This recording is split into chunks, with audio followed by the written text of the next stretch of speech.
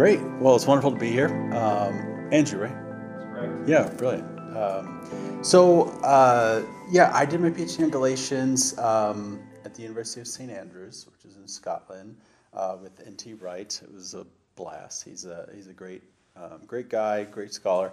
And um, my focus was on um, Paul's theology of suffering as represented in Galatians. That's not a topic that people normally talk about when they talk about Galatians, and that's part part of the reason why I wanted to do it, both to like demonstrate that it, it is actually a pretty uh, prominent theme and that it, it I think helps make sense of certain aspects of the letter, um, and and so that that's kind of like the main the main reason why I wanted to do it. The the argument that I made in, in a nutshell, sort of like the elevator version, would be that um, Galatians is all about circumcision. Do these Gentiles need to get circumcised or not? The male ones, obviously. Do they need to get circumcised or not?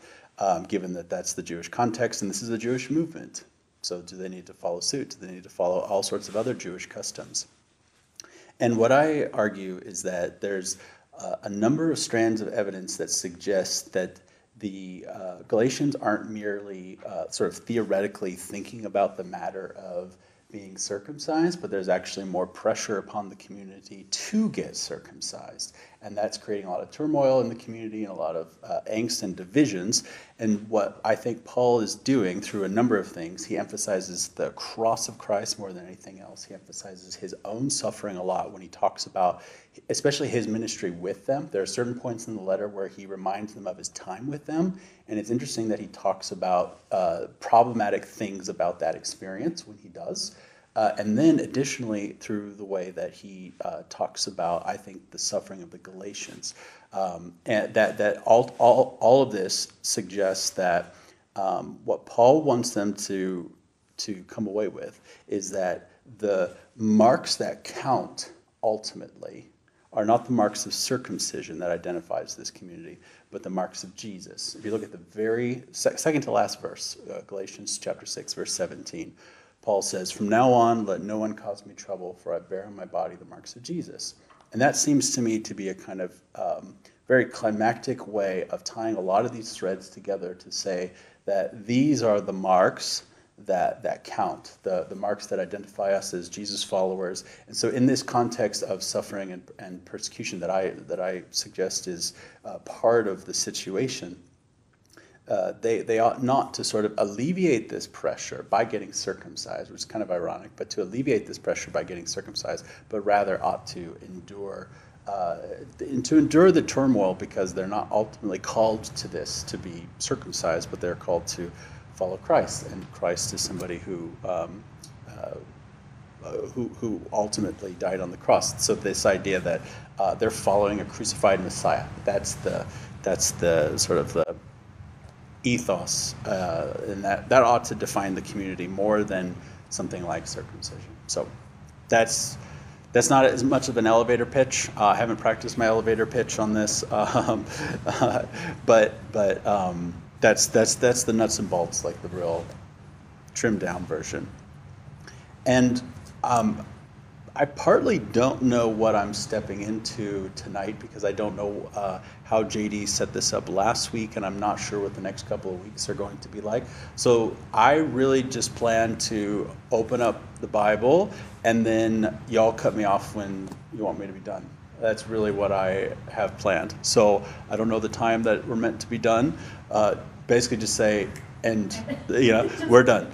Uh, at, 7:15? Okay, yeah, so, so we'll get as far as we get. Uh, like I said, I, my, my basic thought is we're just going to start with Galatians 1. Um, so if you have your Bibles, um, we're just going to start Galatians 1, chapter 1, and, and, and move forward. I think a, a, good thing to say right before we get started, I mentioned that circumcision is kind of the issue. Um, but another thing, just to kind of orient us a little bit, as, as a letter, as, as, a, as a genre, a, a text, uh, letters are always comprised of at least four basic parts. You start off with the kind of introduction, you list whoever is uh, sending this text, you list who is receiving this text. Then you transition typically to Thanksgiving, where you say all the things that you love about the recipients of the text. And then you really get into the body of it. and then you close it out. Pretty simple. Kind of like with our emails or whatever, we might say like "Dear so and so" and you know yada yada yada, and then I always say "Cheers" at the end of my letters, but people do different things at the end of their letters, right? As a as a kind of convention of writing an email, there's certain conventions for for for writing a letter. The most like uh, sort of average letter size would be something like Philemon in the ancient world. That's the shortest letter from Paul, but that's the most like average letter. Uh, what we have from Paul are just aberrations. Like everything is just massive. Partly it'd just be too expensive to produce and take so long to write. Uh, Romans, for example, would probably cost like uh, $2,200 to make, and it would take like up to three days to produce, and it's just cumbersome. Most letters are more like Philemon. They're more ad hoc and, you know, just kind of quick little uh, responses and things. Uh, so Galatians is is really really long. It's not the longest thing we have from, from Paul, but as far as the ancient world is concerned, it is it is quite long. And letters are always in response to a particular situation. Paul never sits down and says, "I want to write about X topic." It's always, "What's the pastoral situation that I need to address?" And this is, like I said, Gentiles being circumcised. That's kind of at the heart of this. But what we're going to notice, uh, especially depending on how far we get, but certainly in chapter one is Paul's going to emphatically deny certain things and emphatically address certain things um, that uh, cause us to wonder why exactly is it the case that, for example, on the other side, this in Galatia, are people claiming the opposite, and that's why he needs to double down and stress certain things. We'll see as we go, but it's it's a curious feature of the letter that he's going to deny a lot of things and he's going to really really insist. Uh, even he he swears an oath at one point, uh, and sort of just it's curious as to why. So we'll keep that in the back of our minds, and I'll, I'll kind of address the specifics of that uh, a little bit um, as as we go. The other thing about letters is that um, although we say that Paul's the author of this, he's the author of its content. Uh, he's not the writer of it. And one of the ways that we know that is if you look at chapter 6, verse 11, uh, Paul says, Paul says, Behold, with large letters I write to you in my own hand. At this point in the letter writing composition, he has literally taken pen in hand and begun to write out the end of the letter. And so, although we're not going to talk about the contents of that portion of the letter right now, um, that must stress something about the importance of that content. That there's something really important that he needs to say to finish off, that it was worth him taking literally the pen from his scribe and writing it down himself. Otherwise, Paul wrote by uh, dictation. And, and we know this, we look across his letters. At, towards the end of his letters, if you just kind of like were to peruse real quick, you would see Paul say, like, I write this with my own hand. It's the way that I write. Or I write this is the authentic sign. It's sort of like um, the way you put like a stamp on a letter or something like that. It's a, it's a sign that it's authentically from him. Um, we know from Romans that there, Paul had a particular scribe named Tertius. He identifies himself uh, in Romans 16 22. I, Tertius, who wrote this letter, greet you. And it, it's, we just know that Galatians is, is uh, also written by a scribe because of this, this thing. So I'd like to say more about chapter 6. I'm not going to, but as you guys progress through, really, uh, I think, uh, focus on that because um, there's, I think, important reasons for why Paul uh, says that, or writes that out with his own, with his own signature. Okay, let's start. Chapter 1, verse 1. Paul, an apostle. So identifying the, the, the, sender, right? And here immediately we get one of those qualifications that I mentioned. Why does Paul do this? He doesn't do this anywhere else. Not from people nor through a particular person, but through Jesus Christ, qualifying his apostleship.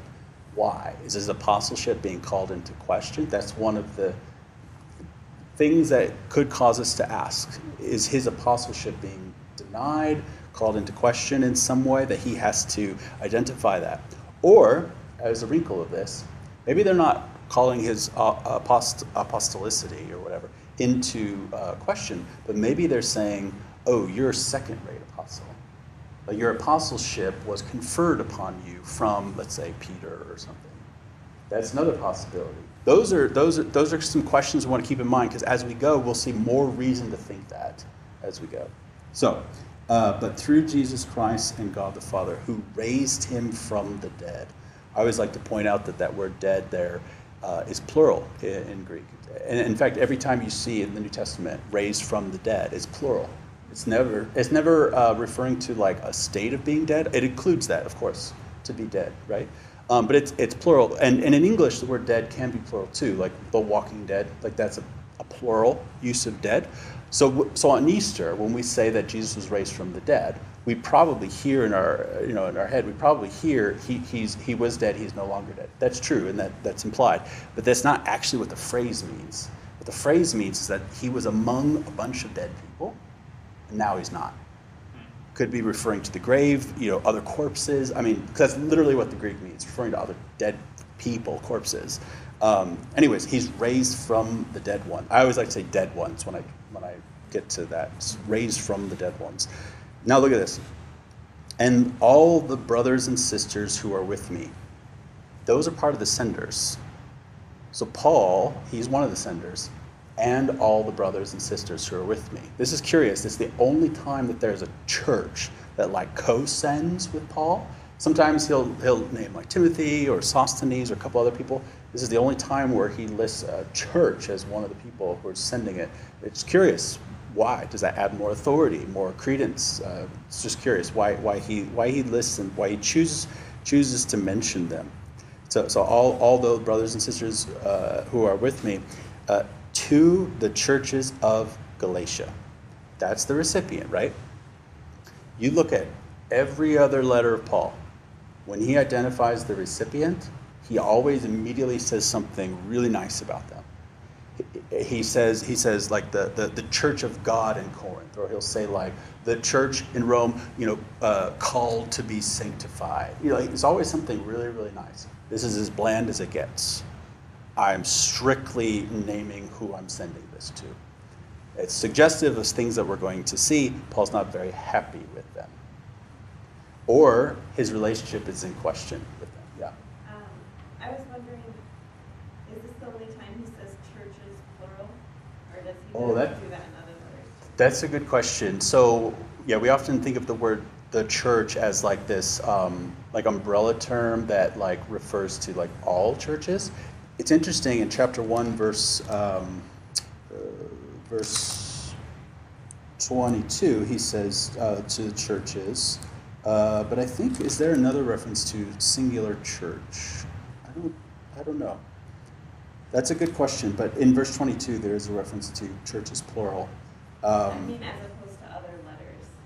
Like Oh. Church in Rome, church in Corinth, churches. Oh, gotcha, gotcha. Is that, Yeah, so you so so so Paul is the reason why um, Paul says churches in Galatia is 'cause Galatia is a, a broad geographical region. It's probably there's debate about this. It is probably uh, south central Turkey, Asia Minor at the time, but probably south central Turkey. There's a huge debate about this because some people think it's north central uh, Turkey. And you might think, well, that doesn't sound super significant uh, in terms of like which region it is, uh, but it actually has um, massive implications for how you compare Paul's writings with Acts. Because of, did Paul, for example, ever get up there? So um, what we know, like for, from uh, Acts 13 and 14, this is uh, Paul's first missionary journey.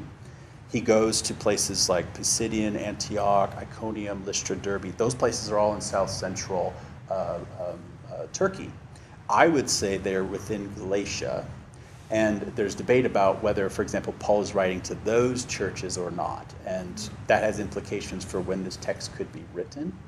Um, there's debate about this. My position is that this is the earliest uh, letter that we have from Paul. This is very debated. So, it, basically, if you if you don't agree with that, you you're going to contend that First Thessalonians is the earliest letter. It's either of those two. So I, I think it's Galatians, and it's partly because of this issue of where I think Paul's writing to, and then possibly when. Um, could say more about that, but leave that to the side. But what that what that means, either Galatians or First Thessalonians, not only the first thing that we have from Paul, but actually the first Christian product, extant product, obviously other things would have been written, but the first extant Christian document uh, is either First Thessalonians or, or Galatians, which is pretty cool, pretty interesting. And in fact, I think that's that I think sheds a lot of light on why an issue like circumcision would be addressed so forcefully because it hasn't been uh, uh, figured out yet. And, and, and if you know Acts, it gets figured out in chapter 15.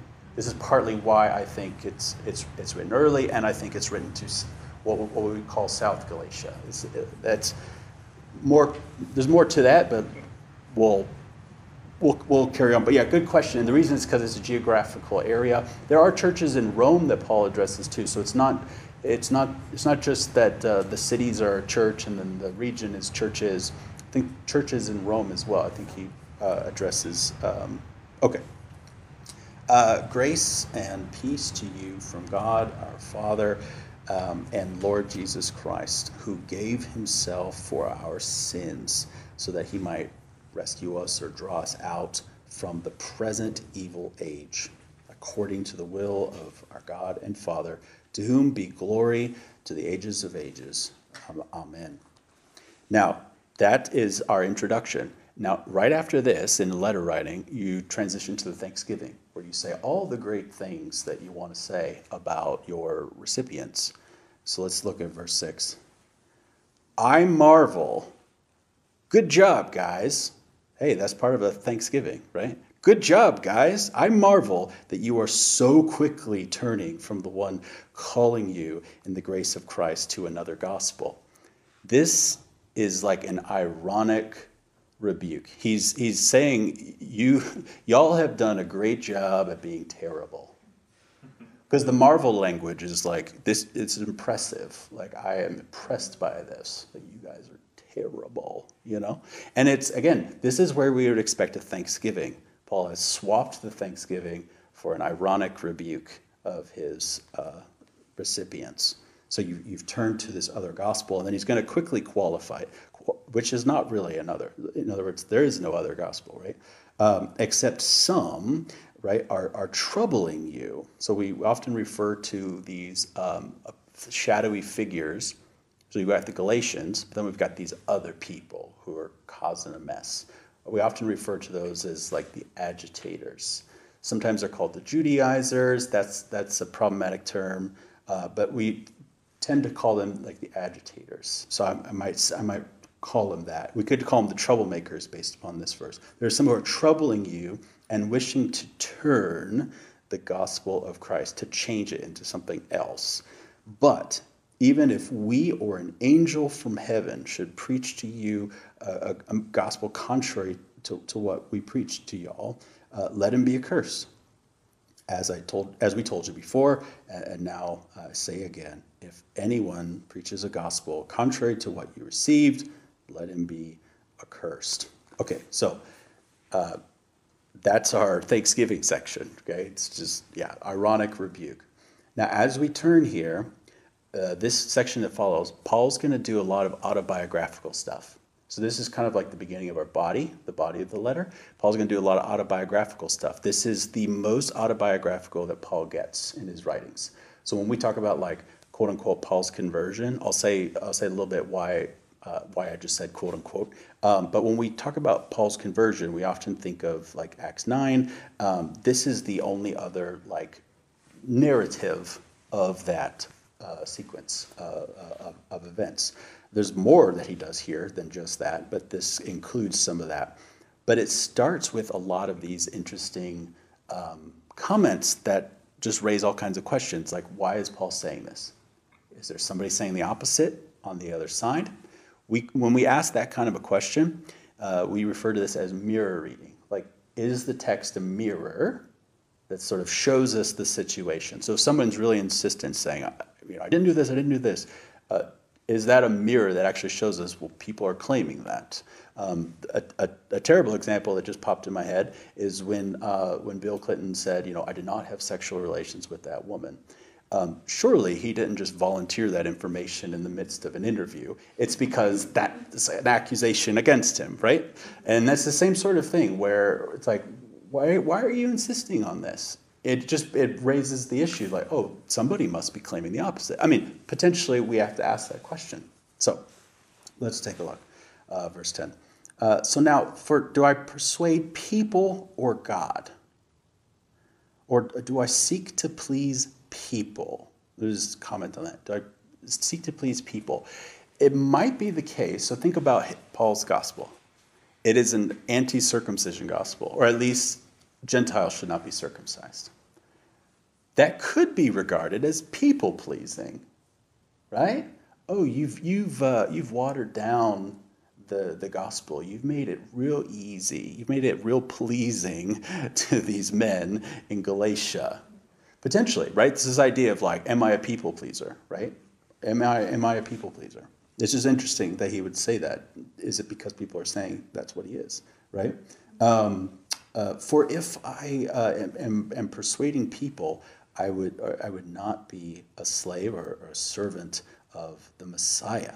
So he, he, he's insisting otherwise, right? That he's not, uh, he's not trying to please people. He's trying to please his master is what he's, what he's getting at. Okay, verse 11. For I make known to you, brothers and sisters, the gospel uh, proclaimed by me, uh, that it is not according to humans or a person or, or something like that. Um, this this is very similar to verse 1 where paul says i'm an apostle you know not, not from people not through a person but through jesus christ.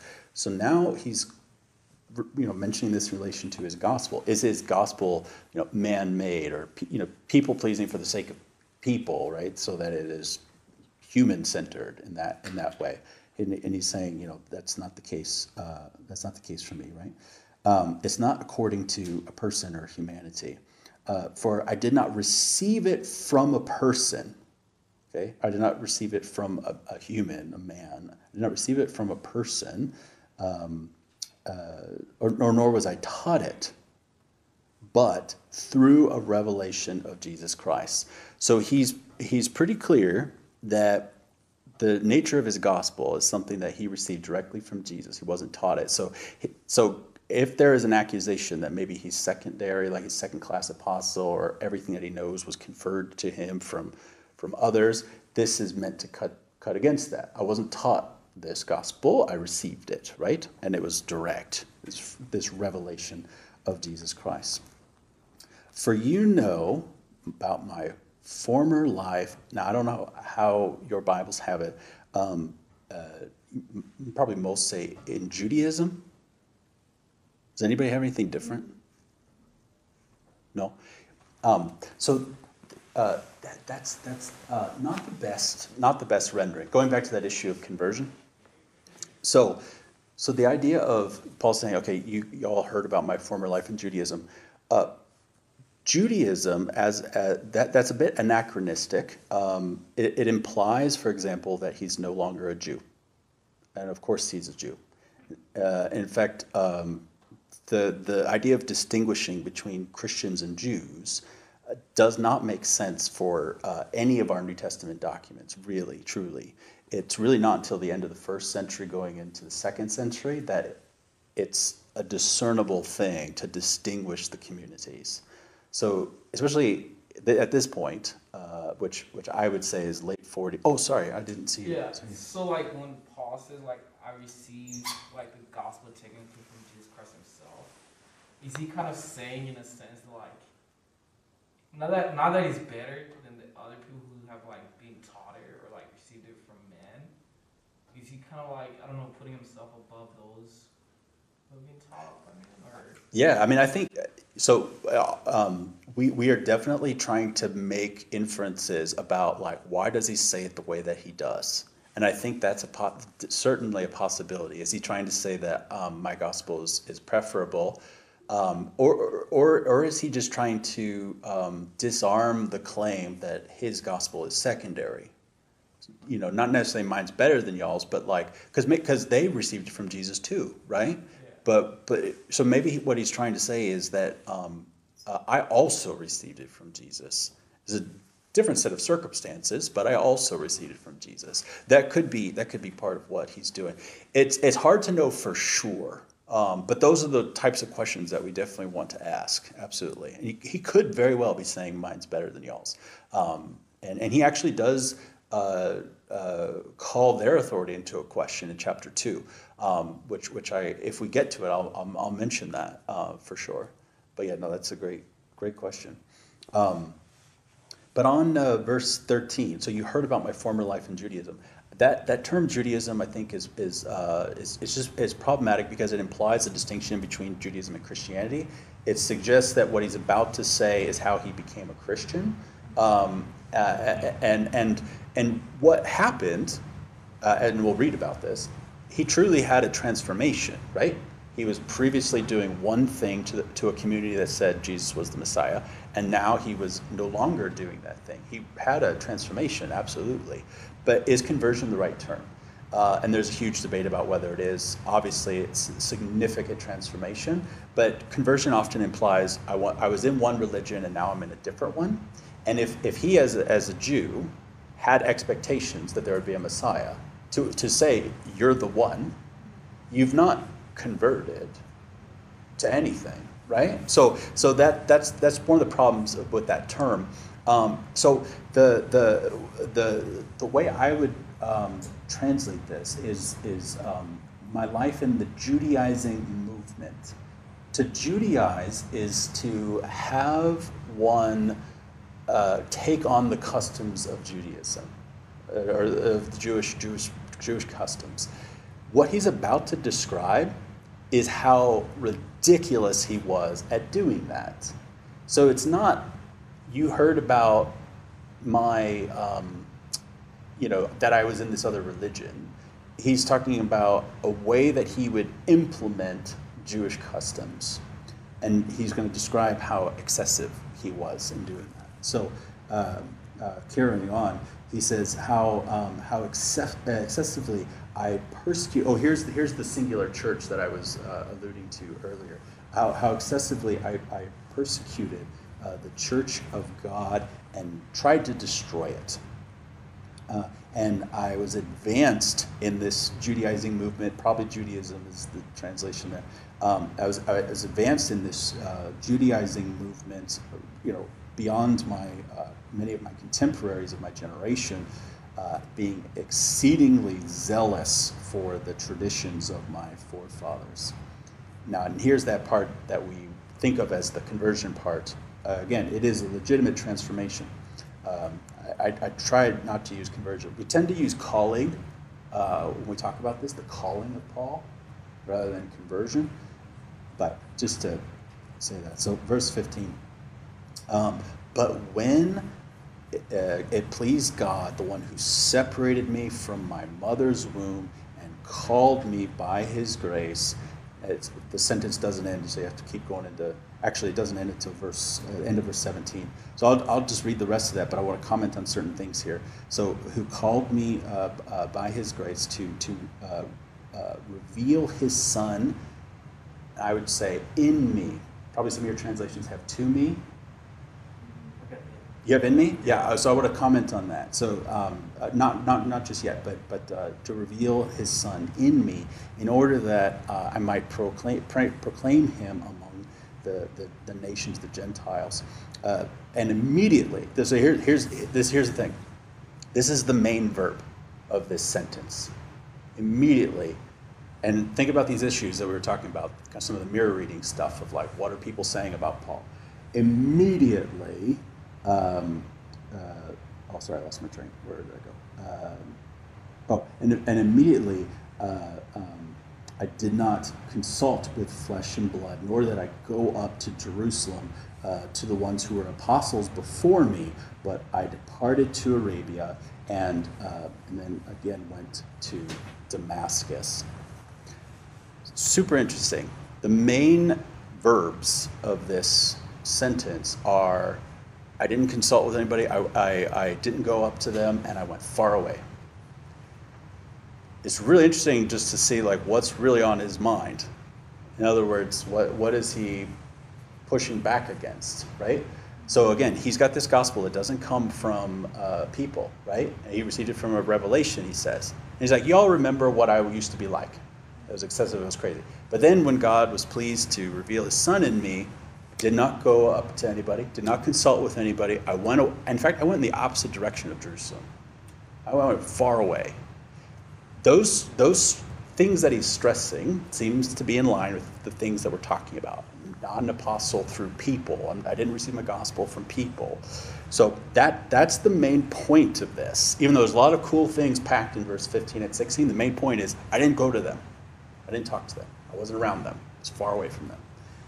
But some of the cool things that he says here, um, Paul in this like autobiog- autobiography here, he uses a lot of imagery from uh, Isaiah 49, uh, especially verses 1 to 6, um, that uh, describe the servant. Uh, one, there's all these servant songs in Isaiah, and there's this servant that verse 6 says is meant to be a light to the nations. And if you look closely at verses 1 to 5, there are a lot of things that the servant says. Uh, one of them, in verse 1, he refers to being, uh, or is it verse 3, uh, being called from uh, his mother's womb. Is it verse 1? Uh, can you read verse 1 for us? Whole thing? Yeah, yeah, yeah. Listen to me, O coastlands, and give attention, you peoples from afar. The Lord called me from the womb, from the body of my mother. He named my name. Now, in a lot of prophetic uh, calling scenes, there's a lot of scenes like this. Jeremiah has one that's similar. There's, there's language of like being called from the womb right? But but this uh, in in the Greek of, of Isaiah 49 there, um, it has way more parallels um, that to, to me suggests that Paul's thinking about this verse. In addition, as we proceed, there's going to be a lot more references back to chapter 49. In other words, Paul imagines himself either as that servant or fulfilling the, um, the, the vocation of that servant to be the light to the nation. He's the apostle to the Gentiles. So it seems like, again, thinking about what, what is Paul doing? He's responding potentially to all these accusations. It seems like he's going back to his calling, going back to, am, am I legit? Uh, have, am, I, am I doing it right? And chapter 49 is the, of, of Isaiah is this text that is reinforcing his vocation, his calling. And he sees in chapter 49, this description of the servant, he sees what he's meant to do. And in fact, as he describes what he has done, he uses the language of Isaiah 49 to describe what he has done, which is really, really interesting. I'll point out some of the other ones. Um, so if you want to flip back to 49 or stick there, certainly keep a thumb there because uh, I'll point out some other ones. But Paul's going to do this a bunch. Um, and so then so this idea of being called from his mother's womb, I, I like I said, I think that's an allusion. I got a yeah. question about Yeah. Isaiah. Yep. So when I think of Isaiah and the servant, I think of Jesus. Right. So is it, are there like a couple different servant types in Isaiah? Yeah. And So, Paul so- is like, okay, maybe one's Jesus, one maybe maybe me. Yep. you know? Yep, yep, great question. So um, I have a whole chapter on that in my dissertation. Um, the thing is, is actually, if you look at the end of chapter uh, 54 of Isaiah, verse 17, there are multiple plural servants. And um, could talk about why this is the case. This would get us a little too far afield. I'll just say this. Um, I think that the servant of Isaiah is actually the righteous remnant of Israel. So Isaiah's prophesying about exile primarily, talking about those people who uh, were faithful in the midst of exile. And I think what the New Testament authors tend to do is they tend to apply that servant concept to Jesus, who represents the righteous remnant in exile perfectly and completely. So, so I don't for so to explain this, I don't think, for example, that Isaiah 53 is about Jesus. I think the New Testament authors are like, ultimately, this is about Jesus, if that makes sense. So I think that there are many people who can fulfill the servant's vocation, um, and I think uh, I, I, think it. I think Paul is is he certainly sees himself in chapter 49, but he does apply chapter 53 to uh, to Jesus in, in, in allusion form, not really in explicit quotation. So in verse four, when we saw that uh, who who uh, who gave himself uh, uh, for our sins Um, similarly, chapter 2, verse 20, where he says, you know, the Son of God loved me and gave himself for me, uh, that, that has Isaiah 53 allusions in there. So there are, there are places where I think chapter 53 is applied to, to Jesus, um, but not exclusively, which is interesting too. Yeah, I could say a lot more about that. It is actually more complicated. Uh, like, like, like, like I'm just trying to hopefully like say it in a clear way that doesn't take too long. But like, there's a lot, there's a lot going on there. Um, I wanted to say too, I think I was off on the time. I think we go to seven thirty. Is everyone okay with that? Oh. Yeah. No, like I said, just tell me when we're done because Yeah, I, okay, I. I'll- In like ten minutes or fifteen minutes, we'll do like discussion. Okay, But yeah, okay. I don't wanna. Well, I'll try. I'll try to No, finish. no. I'll try to finish the chapter at Yeah, least. you're- Sorry you're- about You're that. doing great. No, So- I, I think I cut us short unintentionally. Oh no, that's right. Um, so, so the other thing I want to say about the in me thing. So, to, he reveals his son in me. Uh, some translations have to me. The to me, the to me thing uh, suggests, you know, that what we're dealing with is the external vision, perhaps. The thing is, is there is this motif in Galatians that's fascinating. In fact, maybe I should just run through this real quick.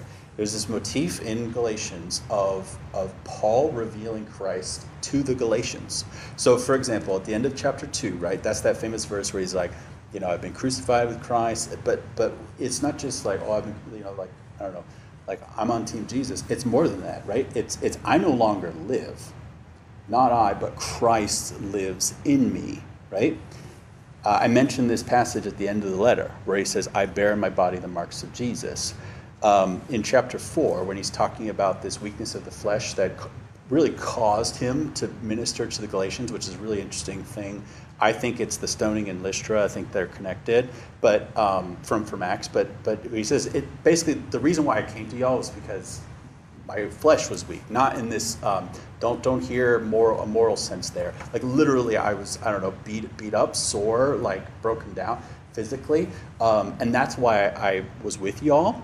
Um, I, it, that that's what occasioned my visit and the time I spent with y'all.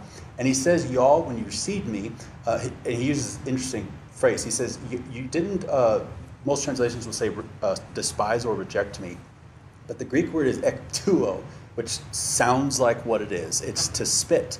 And the idea of spitting at Paul here is, is to say that um, uh, Paul may have had epilepsy, and so you'd spit at somebody who has ep- epilepsy. It's a way of keeping the spirits that may have given that person ep- epilepsy away from you. It's an apotropaic practice. It's a way of, it's just this way of saying, keep, keep your, your demons away from me. At the very least, it's a way of saying you may have been cursed by a demon or you may have been cursed by God, and that's why you're suffering the way that you are. Paul says, Y'all didn't spit at me, so you didn't treat me like that, but you received me as an angel, even as Christ Jesus. So, again, this connection that Paul is like Jesus in, their midst. And then, my favorite example, and this one, I have to say this one for last to, to connect all these dots, is chapter 3, verse 1 chapter 3 verse 1 uh, paul says this is where he says oh foolish galatians so he's finally like turned to address them he says oh foolish galatians who has bewitched you it was before your very eyes that christ jesus was publicly portrayed as crucified. Now think about that for a second. They're in turkey whether it's north or south they're in turkey. They did not see jesus crucified literally. So what in the world could paul be referring to? Some have thought, oh, Paul's preaching was like so vivid that um, it's like they could see Jesus in his teaching. Some have thought uh, maybe he like literally had like posters and he like drew on them or something. And some were like, um, you know, maybe he acted it out, like this is a miming reference. Um, I think, in light of everything that we've seen, what he's saying is when you looked at me in my weakness and, and with the marks on my body, you saw Jesus. You saw Jesus crucified when I was with y'all. I think that's what he's saying. And this is the verse that comes right after him saying, I'm crucified with Christ. Nevertheless, not I, Christ lives in me. You know, right after he says that, he says, "Y'all saw Christ crucified." I just think that's what he's talking about. So going back to this revealed in me as opposed to to me, to me is this kind of external revelation. It's the in me. I think it's this idea of, of uh, through Paul, God is going to reveal His Son to the nations. That's what I think he's getting at there in verse sixteen. Um, it could be it could be translated either way. So it's not a matter of like good or bad translation. Uh, it's a matter of like thematic connections. I think it's much more on target with what he's talking about throughout Galatians to say revealed in me uh, as opposed to to to me. So okay, so then in verse 17 he's like, you know, I didn't go up, I didn't do any of this stuff. Notice how he as it goes from here, he's going to stress how uh, how few of the apostles he connected with and how little time he spent with them. Again, keep, keeping with the thread of verse 17. So verse verse 18. Um, then after three years, okay, I was away from them for a long time. After three years, I went up to Jerusalem to meet Cephas, so that's Peter, uh, and stayed with him for 15 days. That's it. And then, this is interesting, but of the other apostles, I don't know, except James, the brother of the Lord. That's it. Now, verse 20. This is where he swears an oath. What I write to y'all, behold, in the presence of God, that I do not lie. He, he is swearing an oath right now. That's how serious this is. So, so we might just think like, oh, why is his travel log something that he needs to say I'm not lying? If we connect some of these dots with the apostleship stuff and like where's his gospel from, he, he seems to be emphatically asserting that I didn't spend much time with them. So I couldn't have had it taught to me from them. I, I couldn't be an apostle based upon their teaching or, or whatever uh, because I barely got to know them. You know, that's what he's stressing. And I'm not lying, right? And then verse, uh, verse 21 to 24, he's going to uh, say more about um, those churches in, in Judea uh, who did know about him. So, so then I went up to the, the, the, villages or the regions of Syria and Cilicia. So again, uh, carrying this idea, I didn't spend much time with them. I didn't really even get to know more than two of them. And actually, I was I was in Syria, so north of Israel, and Cilicia, so that so south south central Turkey. I was far away. I wasn't even around them. Um, uh, being unknown, literally to the face. I, I, was not known to the churches of, uh, of, of Judea who are in Christ. So, so again, if he had been spending a lot of time there, if he was a disciple of Peter or whatever, then pe- the people in those churches would have known who he was. But he's like, they didn't know my face. Literally, this is what the Greek says. They didn't know my face, um, the churches of Judea who are in Christ. Um, but only they were hearing that the one persecuting us at one time now preaches the faith which he tried to destroy. And they glorified God uh, on my behalf. That, that, that verse, uh, they glorified God on my behalf. Um, Isaiah 49, verse 3. And he said to me, You are my servant, Israel, in whom I will be glorified. Yeah. So there's this thread. So I'll just point out some more of the thread. Look at verse 2. Um, so in, in, in, cha- in chapter 2, uh, he's going to talk about his time in Jerusalem. And this is going back to your, uh, sorry, what's your name? Uh, Jimmy. Jimmy, going back to your point about like, is he's trying to one up them? He's going to make reference to them. It's more clear in the Greek, but he's going to make references to them where he's going to say, those who seem to be pillars, those who seem to be something, he says at one point. In other words, it's like, you're talking about like the most important apostles, and you're saying, those who seem to be important. It's just cur- it's just a real curious reference that going back to your point, it could fit into what you're what you're asking about. Um, but I want to connect some of these Isaiah 49 dots really quick. Um, so in in in, in uh, chapter two, verse two, he says, "I went up because of a revelation." So again, he's claiming like, "Why did I go to Jerusalem?" It was like God told me to here. Curious in light of everything that we're talking about, it's like I only went up because I had to. In other words.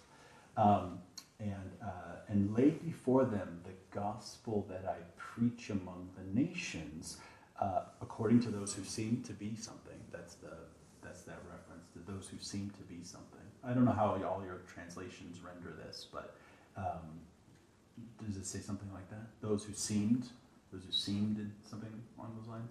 Like those esteemed as leaders.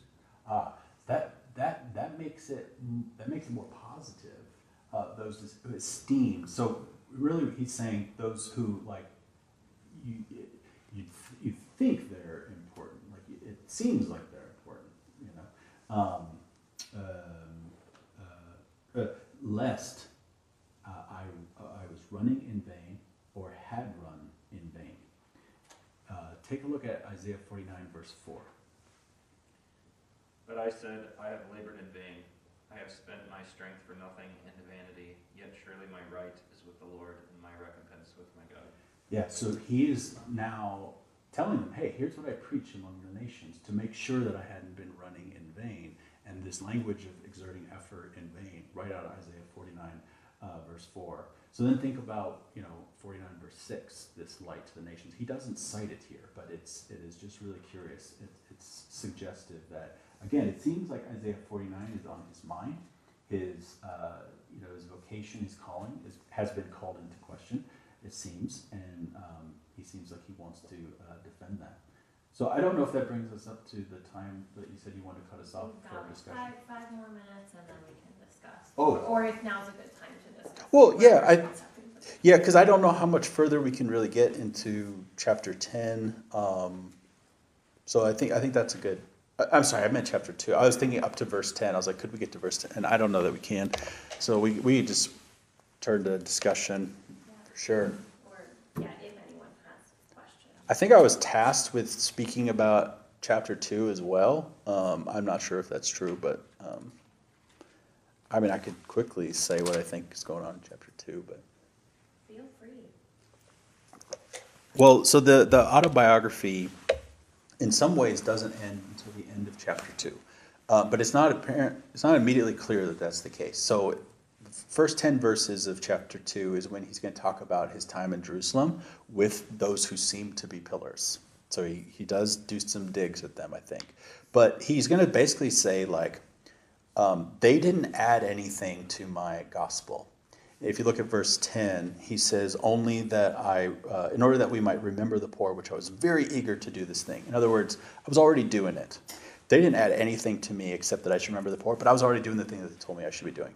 So they did not, qual- you know, my, my, my ministry is not qualified by their input. Like, he just seems to be addressing this uh, pretty clearly.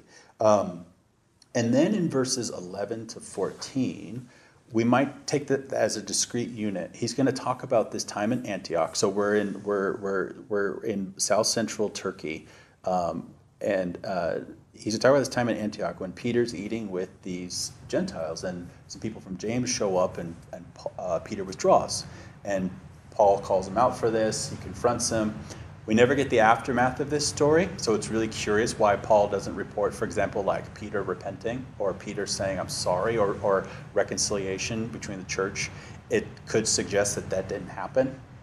That actually, sort of, it's sort of like, now this, this could be wrong, so that it's, it's, a, it's a question of mirror reading. We don't know what happened because he doesn't tell us, but it could, you know how like, um, what's a good example?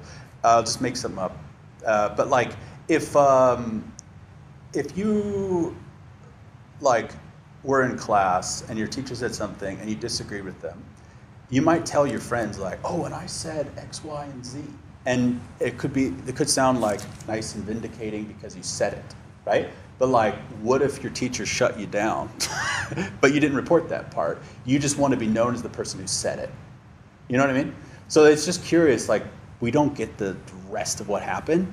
Um, it does lead some people to think that that maybe Paul didn't win the day. Like actually, maybe everybody sided with Peter, and so what Paul Paul's just reporting that he opposed them, um, but but uh, yeah, we don't we we don't know. It's interesting if you look at patristic commentaries on this passage, they they claim that this was staged because they don't like the idea of apostles, you know, being in conflict. So they claim that this was staged so that uh, Peter and Paul like acted out this thing to like teach a lesson to them. It, it's it's ridiculous. Uh, it's just because they're uncomfortable, right, with the idea of Peter and Paul like having a row. Um, but I think it further reinforces that his his apostleship is not dependent on this guy, right? Um, and uh, but what's really important, I, I, what I really want to say about this is that we might treat verses one, uh, 11 to 14 as a discrete unit. Like, here's what happened in Antioch. I opposed Peter. And then we tend to treat verses 15 to 21 as like a separate kind of transitional, perhaps even like a separate, like, let me just teach the Galatians about justification by faith for a second. What we have in verses 15 to 21 is what Paul is telling us that he said to Peter. So everything that he says about justification by faith in there, which we kind of abstract and treat as like just a doctrine that's kind of hanging in the clouds, but this is something that Paul is saying to Peter at a dinner table. In light of him withdrawing from eating with Gentiles, he's saying we're justified by our faith, not by works of the law. And it's important that we keep that phrase of the law. We often tend to think that those works are just like general good deeds but it's works that come from the law, works that are prescribed by the law. And again, this is a Jewish context in which we're curious about how do Gentiles relate to it. So we're justified by our faith, not by observing the law in a particular way. And in that context, Paul's confronting Peter, and so we have to keep that in mind that he's at a dinner table saying this stuff. It's not an abstract con- set of concepts. This is Gentiles and Jews ought to be able to eat together. That's justific- justification by faith in this passage, the very applied, uh, you know, idea. Uh, in this passage, we can eat together because of justification by faith. You know, obviously it's it's justification by faith is bigger than that, but in this context, because everything's pastoral, this is what he's you know commenting on. Okay, I'll stop with that. Yeah. Thank you Yeah. so much, and I don't, um, there doesn't have to be a discussion on the other side if anyone has questions. Oh, yeah, yeah. You know, whatnot, so. Yeah. Um, Concerning qualifications of apostles, I've been taught that it was a qualification to be like a head apostle that you had seen Jesus yourself Right. face to face. Right. Is that true or is that? Yeah, I mean, and, and of course, according to that um, idea, you know, Paul is saying, "I saw Jesus," right? So like, so like, um, certainly he would fit that. But you can just imagine, like, put put yourselves in uh, uh, in the shoes of Peter and James and John and all those other guys. Like, who is this dude? Who's saying he can go hang out with Gentiles now?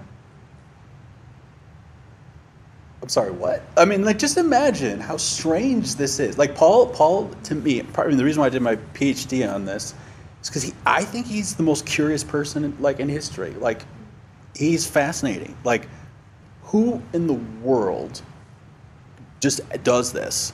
Like, you know, like immediately, like, turns face and starts uh, preaching this message uh, when there are other people who are like, uh, no, we were hanging with Jesus and we don't do it this way. Like that's just it's he's just it's, super fascinating and super curious. But Paul is saying I fit that bill, that that criterion. You know, I was around. I wasn't around from the beginning, but I did see him. Yeah. Isn't that the way Jesus works? Oh yeah. Yeah. Like how if he didn't give Peter the original, you Hmm. know, talk about circumcision when he Right. commissioned him Right. as like the head of the church Yeah. or whatever, but that like he gave it to this persecutor of the church, this message that they had to have humility to receive Right. that from him. Right. Yeah. No, it is amazing. You're right. It's interesting for me to think of Paul and Peter going at it, because like Peter's like this fisherman who's like been with the Son of God, and then Mhm. Paul is like this super smart dude who's like been at the best universities Yeah. and stuff. Like that, that would be interesting. That is true. Yeah, to think about the the difference along those lines. Absolutely. Yeah.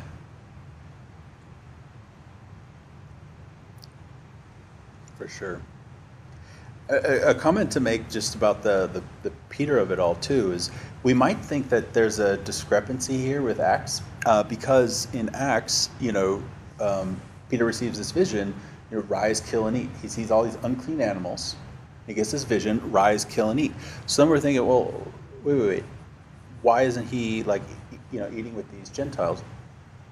Um, I think that uh, you know these are early days; things are getting sussed out. But what what Peter's doing is he's responding um, to the fact that there are these Jews who have just arrived, these men from James, who uh, he is concerned about what they might think about him eating with Gentiles. And it, it's not what he's eating, it's actually that he's eating with Gentiles. So even with the Acts example, um, at, Peter never changed his diet.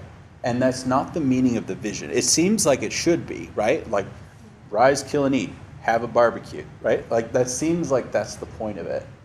But right, if you look at the, if you look at it, Peter doesn't understand what the vision means. We should think it's super straightforward, quite straightforward. But Peter's like, I don't get it. I don't get what what it means. And then Cornelius, this Gentile centurion, shows up and a bunch of his entourage, and Peter realizes that oh, I should accept these people.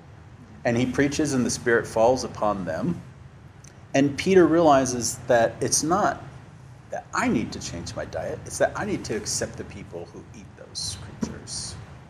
That's that's what's important. And and and so um, so we one way to think about this is like um, what we call uh, speech act theory. So you can say something, uh, and that we would call a locution. Sorry for the fancy words. A, a locution, simply like a statement. So like an example of this would be like, um, "Are you really going to wear that out of the house?" At the locutionary level, the, the locution itself is a question about clothing. The next thing is what we call illocution, which is what you're doing with what you're saying. Because you're not really asking a question if that's what they're going to wear. Obviously, they're wearing it. You are trying to do something in particular. You're trying to cause them to rethink, and the perlocutionary, which is the next thing, what you want to happen. You want them to change their clothes right? So speech act theory is, is this concept that's really important about distinct, not just what is said, but like what you're doing with what you're saying and what you want to happen. So rise, kill, and eat at the locutionary level, have a barbecue, but that's that's not actually Peter.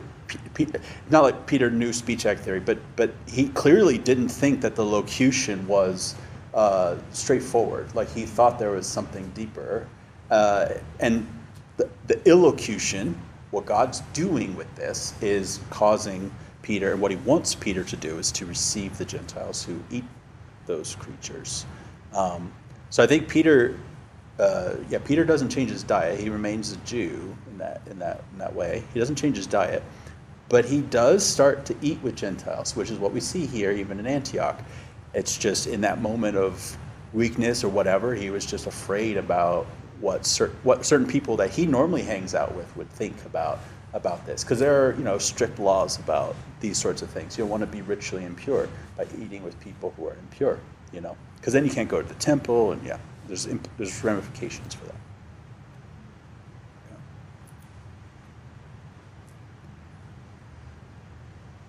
Well, thank you so much, Yep, John. absolutely. Um, Yeah, we're so blessed to have you start off our Galatians Yeah.